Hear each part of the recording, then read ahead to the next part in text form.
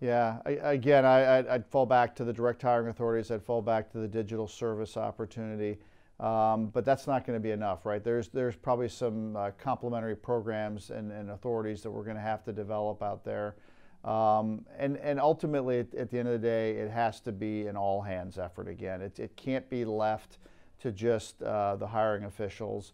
Um, uh, additionally, too, and I think it was mentioned by, by Josh uh, from the White House here, was on the, on the, on the previous session that we need to make sure that we're developing and being very ra rapidly moving to the workforce of the future, right? We don't, people don't want to hire into kind of yesterday's positions. They want to be on the cutting edge of where the IT workforce is going. The example I used was OI&T at the Department of Veterans Affairs is rapidly in our next sta uh, stage in, in de DevOps journey is we are going to a product line management mentality where it's focused around a particular portfolio. It's matrixed across all capabilities within IT and cybersecurity.